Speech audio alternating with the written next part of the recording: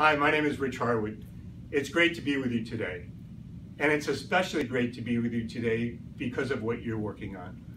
Today is an important day for OC Connect and the children of Australia. I don't need to tell you that every year 65,000 Australian children start the school year with big life and learning challenges.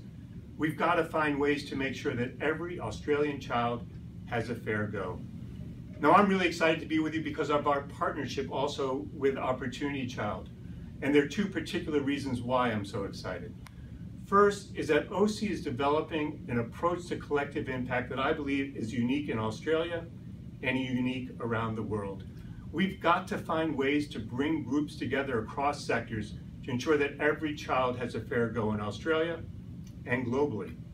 The other reason why I'm excited is because OC joins the Harwood Institute in believing that whatever efforts we do in communities, the community itself must be at the center of those efforts. You know, we need to be turned outward toward our communities to ensure that our communities are our reference point for our actions, not our conference rooms. Not all collective impact efforts in our world do that. In Australia with OC, it's happening each and every day. I know a lot of you in the room today, and I'm so happy to be with you. My good friends at the Ten20 Foundation, we've been working together for a number of years now. My friends at the Dusseldorp Forum, Department of Social Services, the folks throughout the OC communities like Logan together and Mount Druitt.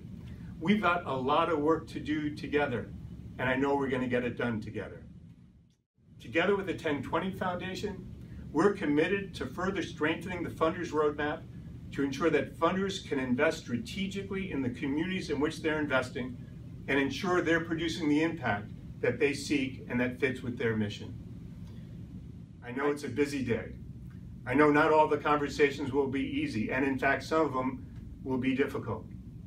But here's what I also know. Because of your good efforts, the children of Australia will have a fair go in their lives. And I can't think of any work more important than the work that you're engaged in. I wish you luck. I wish I were there. And I look forward to seeing you in the days ahead. Thanks so much.